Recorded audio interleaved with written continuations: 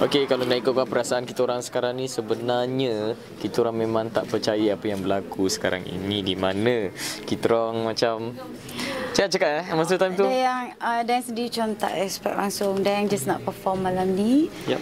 Dan uh, macam so, tak terkata sebenarnya, tak expect langsung.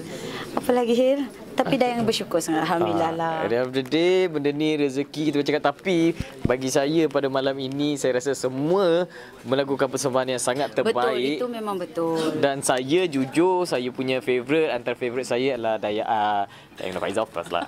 Kan?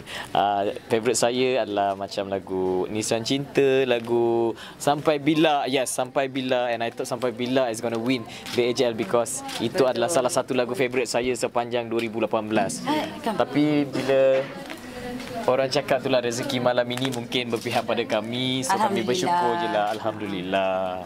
Hey, uh, dua tahun betul-betul menang juara lagu. Hmm.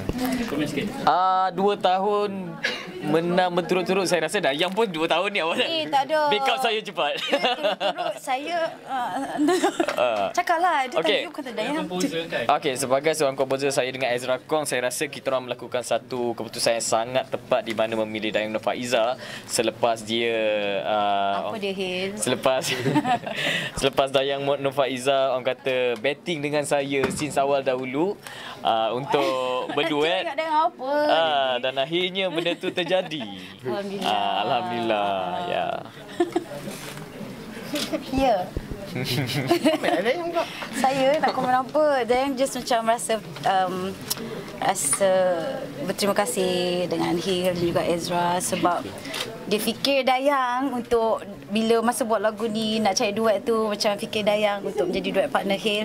Dan rasa bersyukur sangat-sangat walaupun dia rasa ini macam tak sangka dari dari duet lagi masa dia invite Dayang pun macam eh biar betul macam tu kan. Tapi sampai ke hari ni Dayang pun masih macam tak tahu nak cakap apa so Dayang just nak say thank you sebab sudi pilih Dayang untuk uh, lagu haram Uh, sebenarnya macam hujan tu kita orang nak bagi tambah kira macam tambah lagi feel kepada lagu itu di mana kita nak bagi drama sikit uh, untuk bagi lagu tu lebih orang kata lebih mendalam. mendalam. Ah, so dia dibantulah dengan air-air hujan tu. Lagi pun fun kot eh nan Ah, ah, nani. so Dayang pun ni rasanya first experience Dayang macam nyanyi betul-betul air. Masa dia cakap pun, ya betul he, boleh ke diorang buat ni Ah, macam tu mula-mula tau. dia cakap, I tak nak kena air, I tak nak kena air, I tak nak basah, baju I tak nak basah. Tapi bila dah perform tu tadi, I tengok macam dia yang basah lebih ni.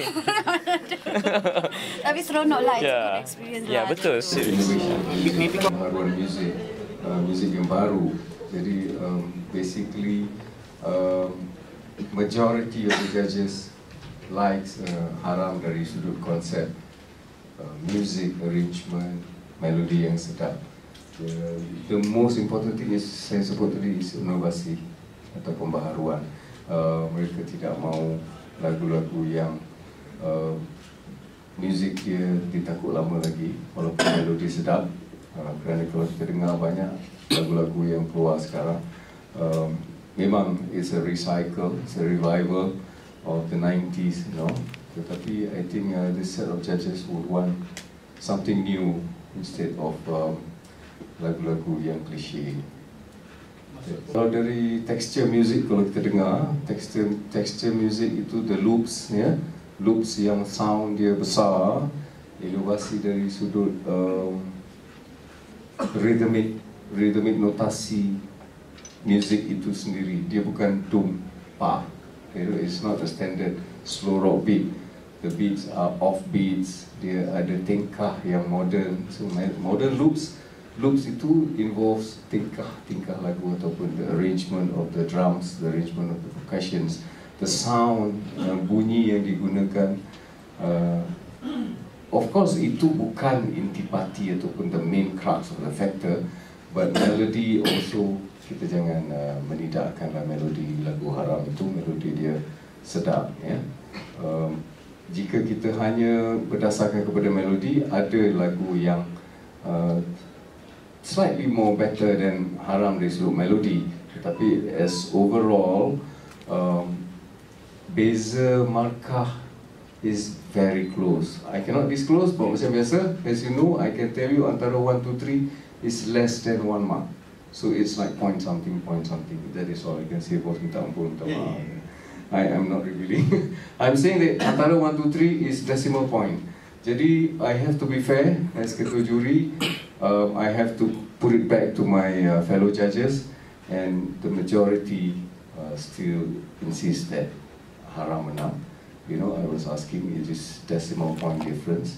Uh, do you all have any suggestions? And uh, unanimously, not unanimous, but uh, majority uh, mengatakan um, lagu haram sepatutnya menang. Tidak kira apa perbezaan markah. Dan saya harus akur selaku ketua juri, saya harus um, bekerjasama dengan sembilan ahli juri. Is the uh, keputusan yang kita dapat pada hari ini. Uh, basically, I'm okay with it. Saya quite happy dari kita kita menggalakkan pembaharuan dari sudut bunyi, ya, sound, uh, sound recording. Uh, vocals juga penting. Ada lagu yang sangat sedap, akan tetapi uh, during production pemilihan penyanyi tidak dapat carry atau membawa lagu itu ke satu aras yang lebih tinggi. Jadi ada kalanya dia masuk ke final kerana kekuatan melodi ya dan juga muzik. Bahkan tetapi the delivery of the vocal because if you're talking about decimal points difference, if your vocal is weak, berarti kekuatan you hanya pada melodi ya dan a little bit of itu. Jadi um, saya galakkan um, produksi atau penyanyi-penyanyi yang cuba nak produce sendiri kalau boleh get proper vocal supervision apabila membuat rakaman itu sebab kita dengar rakaman juga ya ada rakaman yang set to say dua tiga note sumbang yeah? but the song became a hit because the public basically they ignore passing notes di dalam rakaman eh? they just take the main crux of the, the, the whole secara holistic they like the song tetapi dari sudut uh, nyanyian uh, they don't even know what is phrasing apa itu phrasing di dalam lagu uh, penggantungan ayat di dalam lagu pitching um, I'm quite surprised but they are good singers. In recording ada kesilapan-kesilapan. The choice of song. There are some songs also yang tak berjaya kerana uh, the song is so great. Macam saya kata tadi tetapi pemilihan penyanyi yang suara sangat kemik dan sebagainya so sayang sangat. So as a producer I would advise uh, you look at the production secara holistic. You see the potential of the song you know as a producer you see the potensi lagu itu. When you do something aim for juara lagu basically saya nak quote apa yang Pak Ngah cakap pada saya. Ni bagi tahu budak-budak kalau buat suatu lagu aim for juara lagu dia kata. Do it for juara lagu. Jadi itu yang saya nak sampaikan pesan arwah Pak Ngah. Bila anak-anak muda kita kalau buat lagu aim for the best. If you think the singer is not good by all means if you are just a composer just compose and let somebody prolific with great talent bukan hanya good talent great talent sing your song. Yes you can sing the song the song can go viral you can sampai 5 juta. Akan tetapi di dalam pertandingan anugerah juara lagu don't complain if you kalah because kelemahan vokal itu yang saya nak pesan kepada semua. Uh, if you have good songs give it to the good singers and in the aspect of uh, haram kalau kita tengok they have a good song with good music arrangement good vocalist dua-dua pernah menang juara lagu and also so production itu holistic uh, come come to think of it, uh, saya tak fikir semua tu bila saya judge. I judge wholly the song. Saya tidak tengok history of the composer, history of the singer. I don't care if Dayang menang best vocal 10 kali or whatever. All saya, kami, selalunya kami fokus on the song. Kami bagi markah kepada lagu yang dipertandingkan.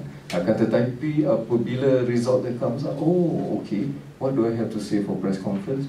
Yeah man, this song actually penyanyi dia dua-dua pernah menang juara lagu best vocals I mean and uh, juara lagu juga dan juga melodi yang bagus music yang baru I think those are the factors yang menyebabkan decimal point difference